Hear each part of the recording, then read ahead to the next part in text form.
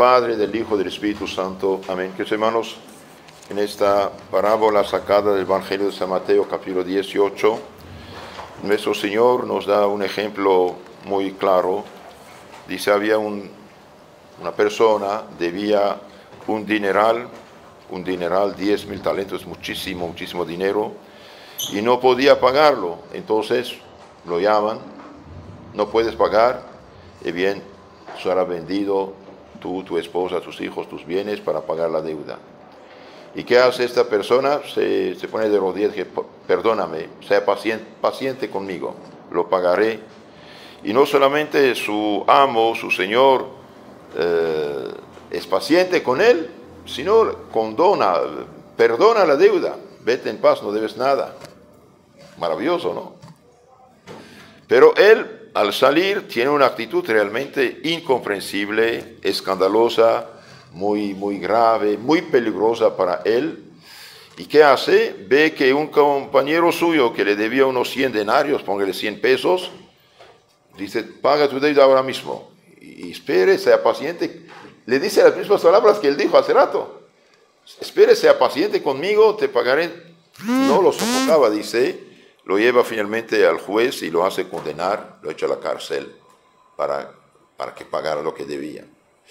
¿Y qué va a pasar? Bien, justicia divina, sus compañeros cuando han visto esto, fueron a contar al, al jefe, al patrón, al, al, señor, mire lo que pasó, usted le perdonó millones a él y él por 100 pesos echó a su compañero a la cárcel. Y bien, fue fatal para él. Lo llaman y dice, siervo malo, siervo malo, toda la deuda te condoné, te perdoné, porque me lo rogaste, y no debías tú también tener compasión, misericordia de tu compañero, así como yo la tuve contigo. Y enojado su señor lo hizo entregar a los verdugos hasta que pagara toda la deuda. Este hombre realmente es un imprudente de primera. Había recibido la lotería, podemos decir, con, con la condenación a la deuda y ahora tiene que pagar lo muchísimo que debía por haber actuado como un necio, como un necio. En nuestro Señor saca la parábola aplicándola a nuestras almas. La conclusión de la parábola dice, así hará con vosotros mi Padre Celestial, si no perdonáis de corazón cada uno a su hermano. Ah, que hermanos, entonces este deudor que debe millones somos nosotros y el que nos perdona toda la deuda es Dios nuestro Padre Celestial. Y nosotros somos este necio que por una cosita chiquita sofocamos a nuestro prójimo, somos intransigentes con él y sin misericordia. Consecuencia, bien consecuencia, Dios va a exigir de nosotros el pago de nuestra deuda real. Si no perdonamos, bien no tenemos eh, perdón, no tenemos, no podemos alcanzar misericordia. Quiero hoy hablarles un poco acerca de este tema del, perdón de las, de las, injurias, de las ofensas. ¿eh? bien, debemos perdonar las ofensas al prójimo, o las cosas, injurias que nos hace, por, eh, por cinco razones. Primero, porque Dios lo manda de una manera, clara y clarísima. Lo manda, Dios lo manda. En la vida que serán misericordiosos, alcanzar misericordia. Bien, entonces debemos perdonar porque Dios lo manda. Por ejemplo, el Evangelio de San Mateo, capítulo 5, eh bien, nuestro Señor corrige la antigua ley, corrige las exageraciones y falsas interpretaciones de los fariseos cuando dice, os fue dicho, eh, bien, os fue dicho que amarás a tu prójimo y detestarás, odiarás a tu, a tu enemigo. Y bien, yo os digo, amen a sus enemigos recen por sus perseguidores y calumniadores. Este es tremendo esto. Y es el Señor que lo dice. Muchas veces lo sabemos en parte, pero lo olvidamos. Lo olvidamos. Y bien, nosotros no podemos tener un comportamiento pagano eh, de odiar al prójimo. El cristiano no tiene ningún enemigo. Enemigo en sentido de odiarlo. Uno debe defenderse de gente mala que puede hacernos daño, pero no tener odio. Entonces yo os digo, y bien, amen a sus enemigos, háganles el bien y oren por ellos, oren por sus perseguidores, perseguidores y eh, calumniadores. El precepto es clarísimo y no admite réplica. Nuestro Señor lo dice. Y bien, amarás a tu enemigo. Tremendo esto, ¿no? Hagamos un poco examen de conciencia cuando alguien nos hace daño, cuando alguien nos critica, cuando alguien nos fastidia, cosas peores. Y bien, es normal de sentir, sentir una reacción adversa, es normal esto. Eh, esto entra en la naturaleza humana de las pasiones, pero debemos guiarnos por nuestra inteligencia, por nuestra cabeza y no por nuestras pasiones. Eh, pedir a Dios ayuda. Eh, por ejemplo, cuando en la Biblia lo dice, a mí la venganza, dice el Señor, a mí la venganza. Y bien, esto no es cualquier cosa. Dios tomará cuenta. Dios es el último juez. Y Dios juzgará con toda justicia. Entonces, hermanos, cuando tenemos algo grave con otras personas, bien, recemos por ellos. Y si rezamos por ellos y perdonamos, ponemos Dios de nuestro lado. Ponemos Dios de nuestro lado. Eso no quita que tenga uno defenderse en lo humano, cristiano, pero sin odio, sin, sin rencor. Por ejemplo, Santiago, San Juan, que querían hacer bajar el fuego del cielo sobre la gente que no había Cristo, no había recibido a Cristo nuestro Señor, y él dice, ustedes no saben de qué espíritu son, no saben de qué espíritu son. Entonces nosotros debemos tener espíritu de Cristo. Un cristiano no, eh, no es enemigo de nadie, decía Tertuliano, uno de los escritores cristianos de los primeros siglos. Un cristiano no es enemigo de nadie y no devuelve bien por mal. Así. Habiendo oído un, eh, un hereje protestante asesinar al líder de los católicos de Francia en la guerra civil provocada por protestantismo, eh, habiendo ido este hereje a matar el duque de Guisa, eh, gracias a Dios fue capturado este malvado. Y el duque católico le dijo, oye, no te conozco, no me conoces, ¿qué mal te he hecho? ¿Por qué vienes a matarme? Y el otro contestó, ningún mal me has hecho, sino que tú eres enemigo de mi religión protestante. Y el católico le contestó, si tu religión te ordena matarme, la mía me manda perdonarte. Así es. Así es. Miren, que hermanos, eh, alguna pequeña paréntesis, el protestantismo fue nefasto desde el origen. Lutero, en todo su orgullo monumental, de odio tenemos, de, groserías sin nombre, y bien, excitó a la gente a la rebeldía. Eh, hubo dos guerras al inicio de la vida misma de Lutero, después hubo la guerra de 30 años, por causa de Lutero, bien la guerra de los, eh, de los pequeños nobles, de los campesinos, hizo más de 100.000 muertos. Destruyeron más de mil conventos, monasterios, lugar de cultura, de educación, de caridad, de formación. Hicieron más de 300 iglesias. ¿Qué dice este, esta cabeza vacía de, este hereje, de cisque evangélico falso? Mire, usted eres enemigo de mi religión, vengo a matarte. Sí, pero si la tuya humana, inventada, te aconseja de hacer ese crimen, y bien la mía te dice de perdonarte. Por eso, queridos hermanos, tenemos que purificar nuestro corazón de, eh, del odio, del, del, rencor. Es algo importante. ¿eh? Si alguien tiene decepciones, problemas, etc., es normal que sienta, es normal, es humano, pero debe actuar en cristiano y durante este día del Señor rezar por esas personas. ¿Eh? ofrecer su misa, su rosario, su comunión por esas personas, diciendo, Señor, si yo te fallé en primero, perdóname, yo también, por amor a ti, perdono y rezo y dé la gracia, la conversión a estas personas. Entonces es algo muy, muy, muy importante. Otro ejemplo que podemos, eh, que, que, tenemos, eh, bien, San Juan Gualberto. San Juan Gualberto era un militar italiano. un día por un problema, un, un amigo mató a su hermano lo mató. Y Juan eh, juró venganza. Y un día, este Juan Gualberto, militar, con sus soldados, en un callejón encuentra al asesino de su hermano. Y ahí va a tener una lucha tremenda entre carne y espíritu, entre visión cristiana y humana de las cosas. Eh, el demonio dice, aquí tienes la ocasión, mátalo de una vez y satisfaga tu rencor. Y el Espíritu Santo dijo, ve, ¿qué ganas? Eres un asesino más. Porque si usted mata a un hombre sin armas, eres un asesino también. Entonces tomó su espada, fue, y el otro tuvo la inteligencia, impulsado por la gracia de Dios, se puso de rodillas, dijo, por amor a Cristo, perdóname, estoy arrepentido.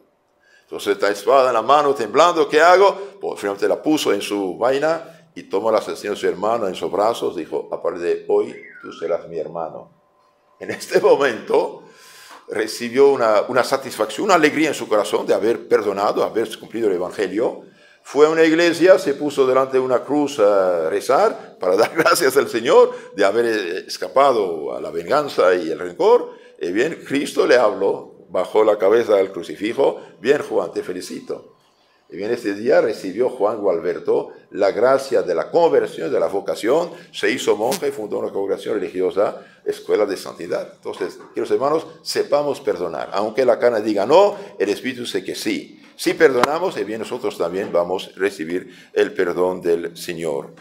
En efecto, ¿qué mayor testimonio podemos dar a Dios de nuestra obediencia y de nuestro amor que perdonar a los enemigos y amarlos como Él manda? Nada más meritorio que un perdón generoso dado a nuestro enemigo con miras a agradar a Dios.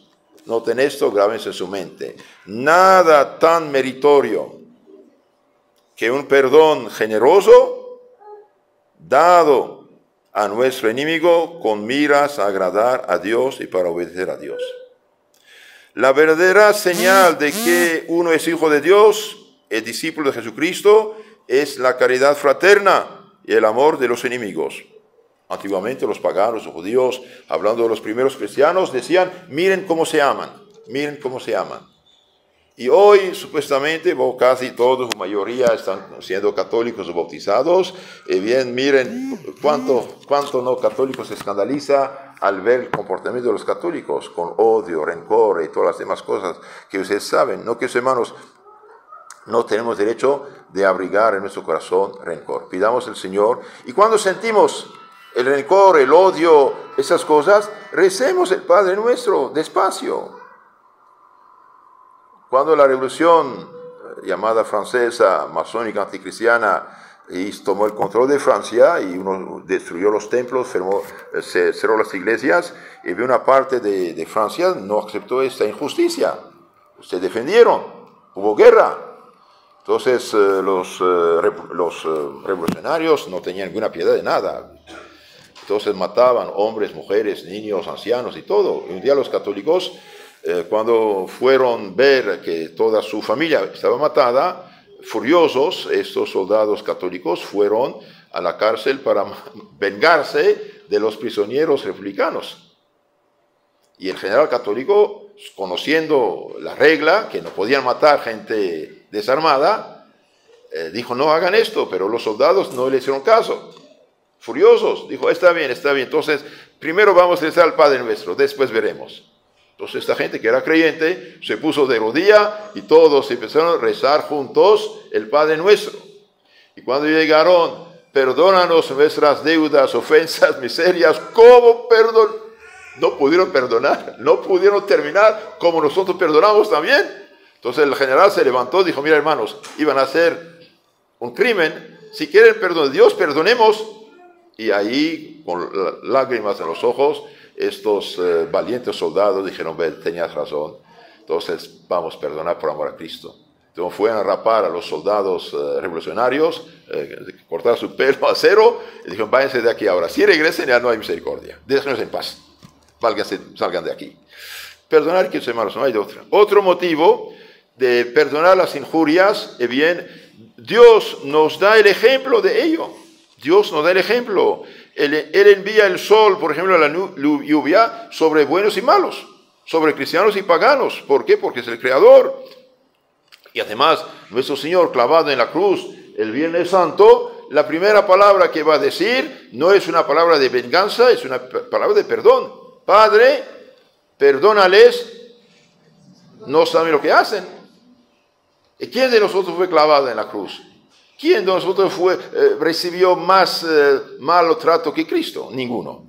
Ninguno. Por muy grandes que sean las ofensas que hemos recibido, eh bien, no es comparable a lo que Cristo padeció. Padre, perdónales, no saben lo que, lo que hacen, dice nuestro Señor. Entonces, imitemos a nuestro Señor. Tenemos que imitar porque Él nos da el ejemplo. No olvidemos el ejemplo también de San Esteban, por ejemplo. Cuando estaban apedreándolo, y bien dice, Señor, no lo tome esto, esto en, pecado para esta gente. Y la oración de Esteban, eh bien, causó la conversión de Saúl, que va a ser el gran San Pablo.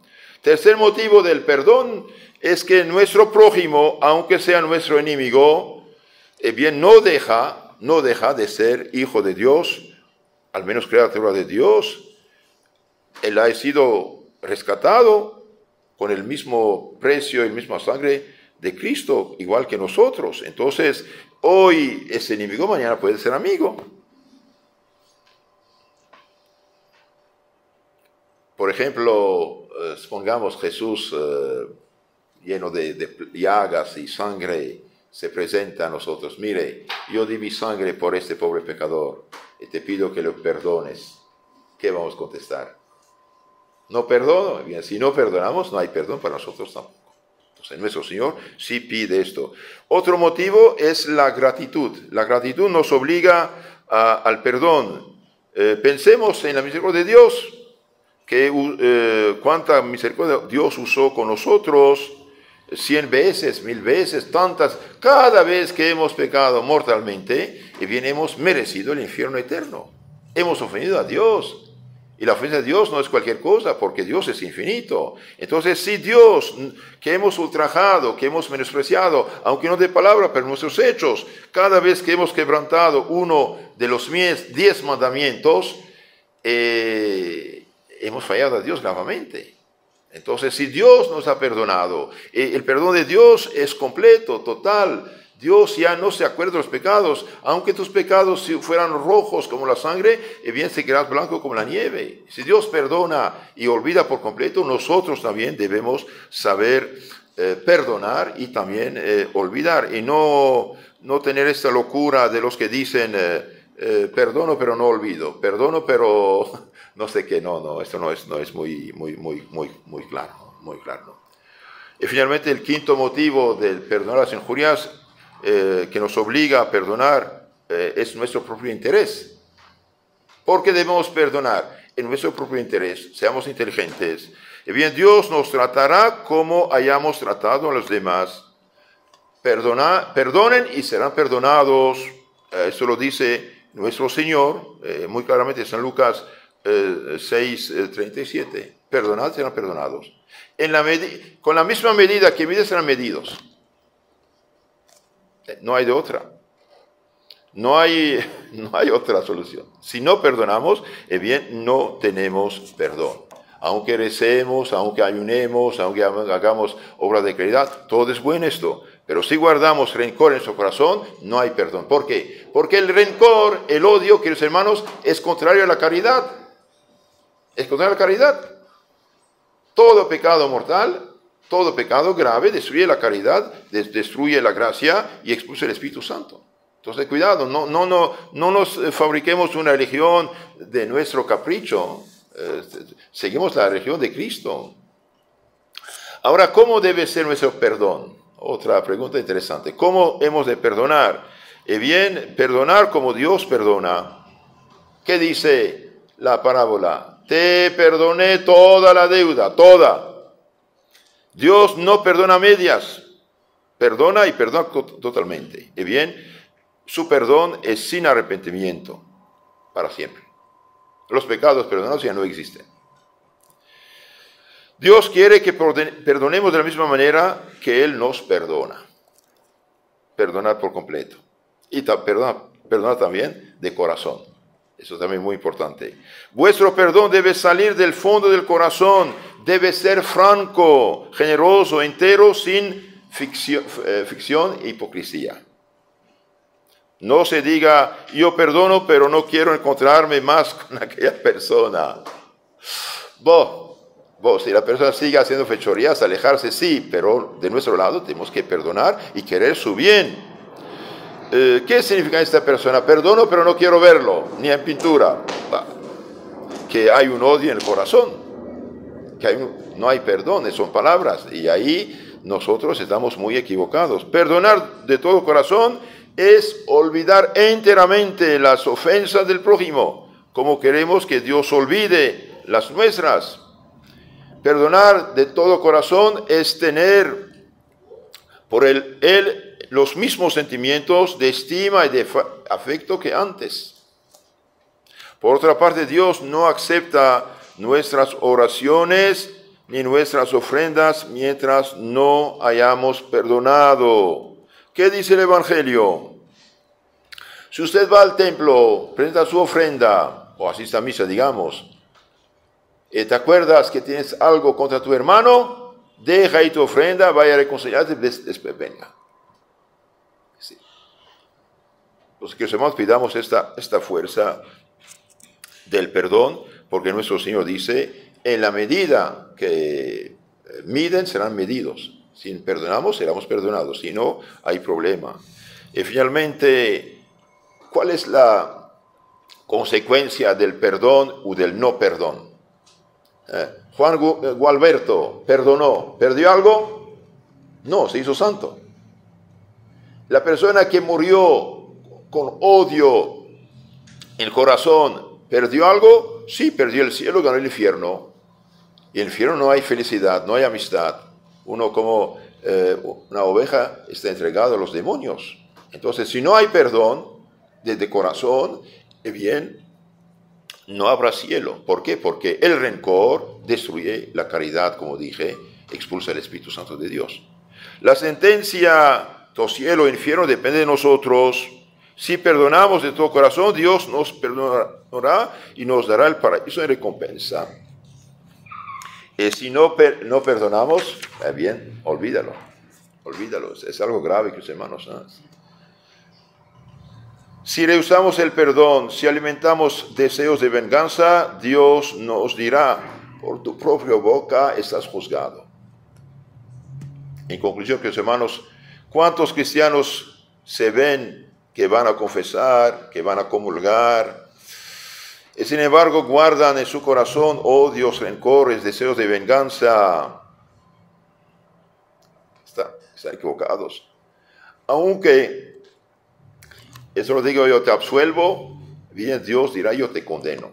¿Por qué? Porque el sacerdote escucha la voz mientras Dios ve el corazón.